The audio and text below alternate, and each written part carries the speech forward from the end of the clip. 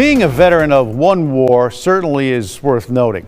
Two wars, well, that's an honor that's setting you apart. Floyd Brantley answered this nation's call, in fact, three times in two different branches of the military, securing him as an Arkansas treasure and an Arkansas hero. Floyd Brantley's 98 year old smile is as wide and as bright as it was 97 years ago. Today, he could pass off as any other man enjoying a long life. But the ribbons on his chest suggest otherwise. His life reads like a book. It begins as a child of the Depression. Life was a challenge early on. Work on milk truck in the morning before I went to school. And Not because he wanted to. His father left the family to fend for themselves, so he had to. His brother joined the Navy, and soon the reality of war came to the Brantley home. he was killed in the Navy on the USS Atlanta. In no time, his mother's only surviving son, who she wanted to finish school, got a letter.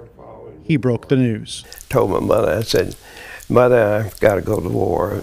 And when my brother was killed, I felt like I had to go and replace him. There was no question, no matter his fate. That you volunteered for something or else you drafted. But anyway, you feel um, that you're doing something for the American and you may get killed. That was made perfectly clear to Floyd and his 5,000 shipmates by their commander on their way to the South Pacific, where his brother had been killed. Some of you will not come back. Some of you will be wounded.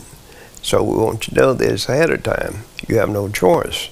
There were examples of both in no time. Suffering of the young men. As a corpsman assigned to the 1st Marine Division, combat was no stranger. As we do what we call a push, we knew ahead of time that they're getting ready to go to Saipan for, and we better be ready going to get a lot of casualties. He did what he could to help. One case, I he said, corpsman, I need a shot.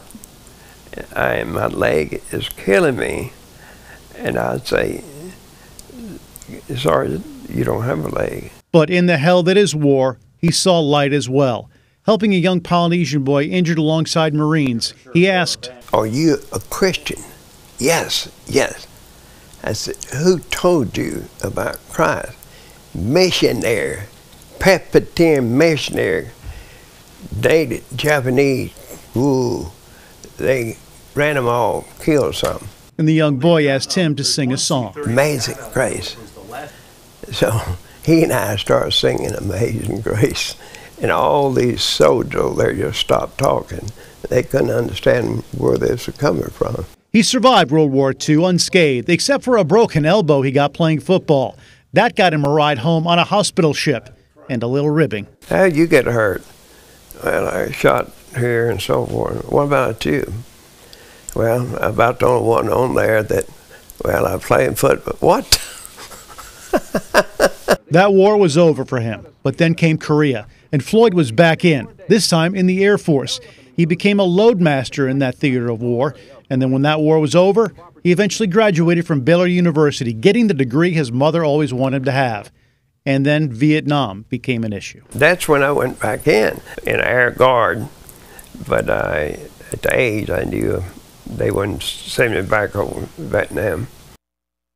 No, he stayed home, an Arkansas hero. He retired Captain Brantley, and now at 98 years old, he remains active in supporting our men and women in military certainly a true Arkansas treasure. Happy Veterans Day, Mr. Brantley.